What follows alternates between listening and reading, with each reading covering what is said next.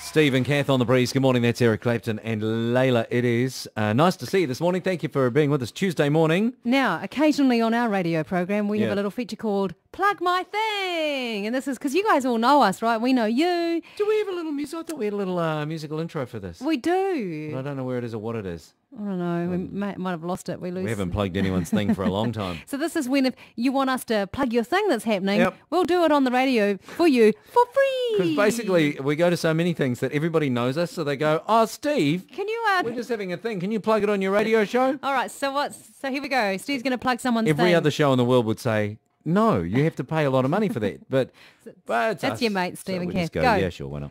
Uh, the Wainuiomata Community Patrol are having an annual fundraiser brought to you by Expressions Hair and Beauty. So uh, you basically go in and get your hair done, and that raises money for the Community Patrol in Wainui. Uh, Expressions are doing $5 dry haircuts, $5 eyebrow shaping. Really? Yep, dry cut only, no bookings, men, women and children. Yeah. Uh, there's a sausage sizzle. There are raffles. It's from 10 a.m. till 2 p.m. on Sunday, the 17th of September. Where are they, Steve? Uh, they will be, Oh, come on. I don't know where they'll be. Vital information. Well, I guess it's, oh, hold on, expressions. 157 Wainuiomata Road. Done. All right, we'll see you. T- So that's a $5 dry haircut, $5 eyebrow shaping, plus all the other little bits and pieces. And all the money goes to the Wainui Community Patrol. Good on you, expressions. that is good. There we go. We've just plugged your thing. We've plugged your thing.